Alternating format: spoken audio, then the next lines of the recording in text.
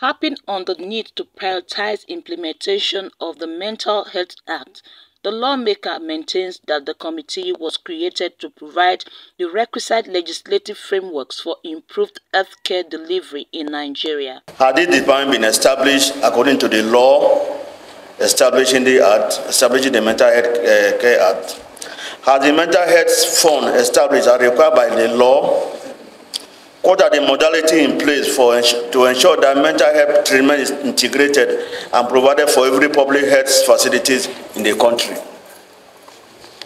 All these posers or questions are directed to the, are directed to the Federal Ministry of Health and Social Services, the Medical Director of, Medical Director of Hospitals, Head of Department of Official Agencies responsible for the implementation of the Act, to tell Nigeria why, I repeat, why the National Mental Health Act is not being implemented.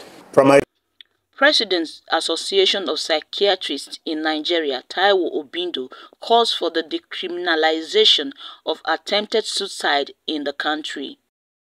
Obindo says the establishment of national counseling centers all over the country in an attempt to address mental health issues is like putting the cart before the horse because suicide attempt is still a criminal offense in both the Criminal Act and the Penal Code. Healthcare may not necessarily be uh, ideal, but a community-based primary health uh, rehabilitation centers will be the appropriate thing. Lagos State started. I think they have a big center uh, established there.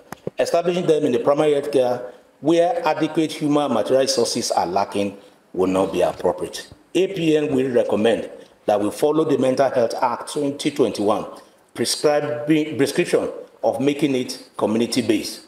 Trained staff at the primary health care center can then refer identified uh, clients. He also asserts the need to urgently commence the implementation of the Mental Health Act, which received presidential assent in 2022.